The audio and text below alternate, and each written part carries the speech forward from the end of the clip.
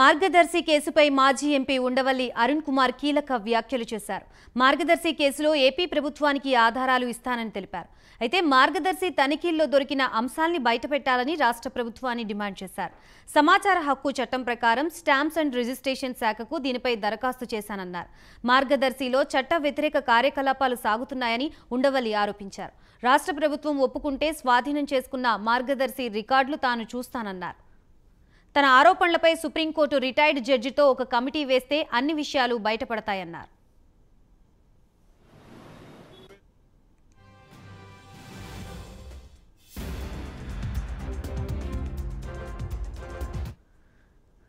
ఏంటి ఇందులో కిటుకు?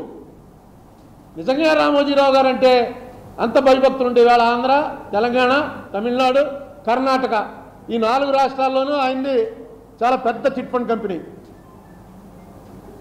దేశం అంతా పెట్టించాలి. బ్యాంకులు గింకులు మూసేయడం బెటరు ఆదాయానికి పట్టుకెళ్ళి స్టేట్ బ్యాంక్ అప్ చెప్తారండి. అన్ని బ్యాంకులు పట్టుకొచ్చి ఈయనకి అప్ చెప్పండి. ఈయన నడుపుతాడు అసలు కరెక్ట్గా డబ్బులు వెనక్కి రావాలో ఎలా రప్పించాలో ఈయనకి తెలుసు. లేదు ఇందులో ఏం తేడా ఉందో పని పట్టుకెట్టాలి పని కట్టట్లా? మీరు పసిగట్టట్లా ప్రతి ఏడు ఇదే చేస్తున్నాడు ఆయన. ఈవేళ ఏ కారణం వల్ల అయితేనే ఈ రాష్ట్ర ప్రభుత్వం చిట్ ఫండ్ కంపెనీ మారదర్శి మార్గదర్శి చిట్ ఫండ్ కంపెనీలోకి ధైర్యంగా వెళ్ళగలిగింది. వెళ్ళి అక్కడ రికార్డులు ఏవో చూడగలిగింది. చూసిందంతా కూడా వీడియో కూడా తీయగలిగింది. మొత్తానికి ఒక స్టెప్ వేసింది.